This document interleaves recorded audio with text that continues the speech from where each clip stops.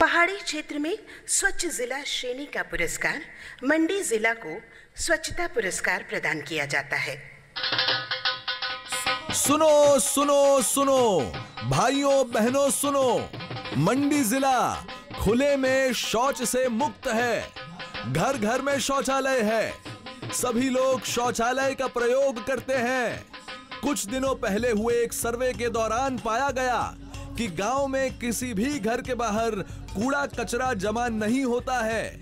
निन्यानवे प्रतिशत घरों के बाहर कोई गंदा पानी भी जमा नहीं होता और पचानवे प्रतिशत सार्वजनिक स्थान स्वच्छ पाए गए।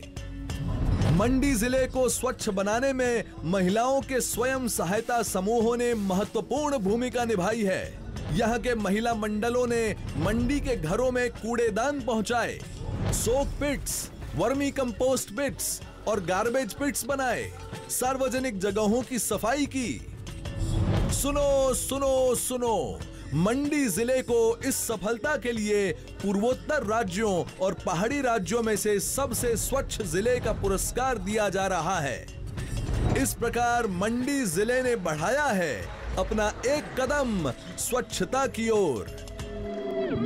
मंडी जिला एक के जिला कलेक्टर श्री संदीप कदम और स्वच्छता चैंपियन श्रीमती कांता देवी संयुक्त रूप से पुरस्कार ग्रहण करेंगे। जोरदार तालियों से हम इनका अभिनंदन करेंगे।